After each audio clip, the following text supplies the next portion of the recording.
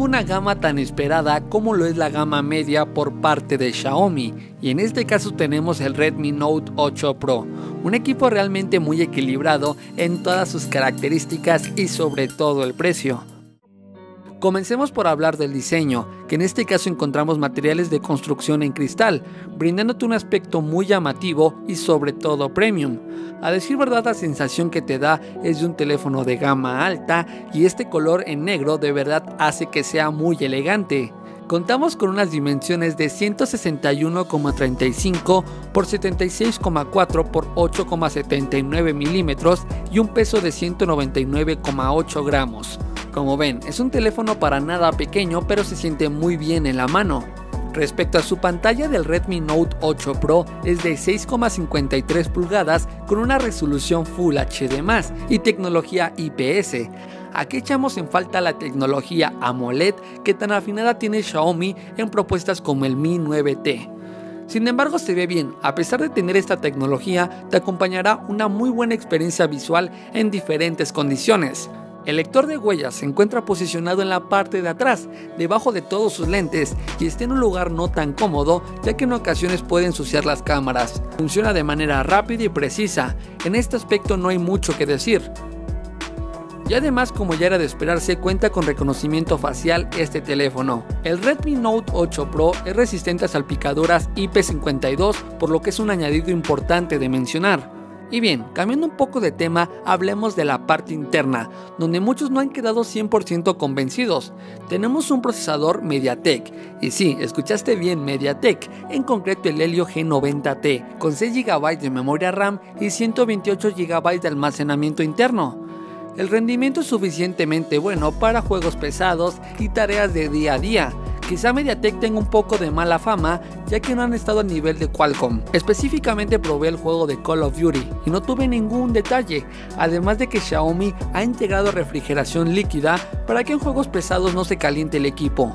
Por su parte, la autonomía es de 4500 mAh, la cual es sorprendentemente buena, e incluso en un uso intensivo te dará prácticamente un día, al igual que contamos con carga rápida de 18 watts.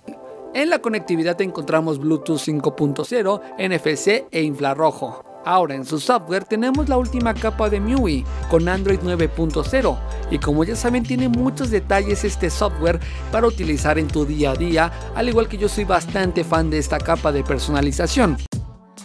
El apartado fotográfico es el más interesante y llamativo del Redmi Note 8 Pro, Contamos con una cámara principal de 64 megapíxeles y como te podrás imaginar el detalle es increíblemente bueno. Tendremos algunas sombras, sin embargo vas a tener una de las mejores experiencias fotográficas del momento.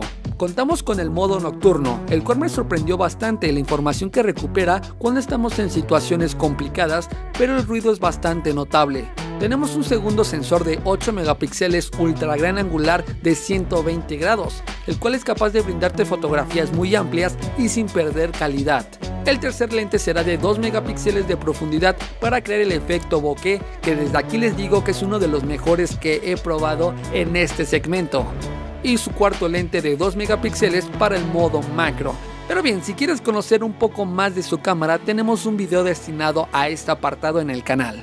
Respecto a la grabación tenemos hasta 4K a 30 fps con estabilizador óptico y aquí el detalle no es el mejor, funciona correctamente pero se nota un poco de distorsión cuando hay movimiento.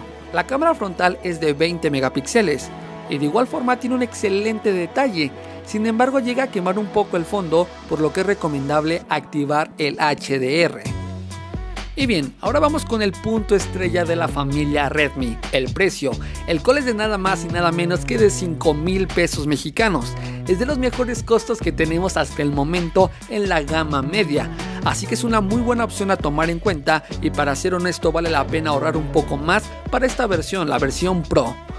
Y pues nada amigos, aquí hemos llegado ya con el video. Espero que les haya gustado el review del Redmi Note 8 Pro. La verdad que fue una experiencia bastante buena y sobre todo me gustó muchísimo el apartado fotográfico.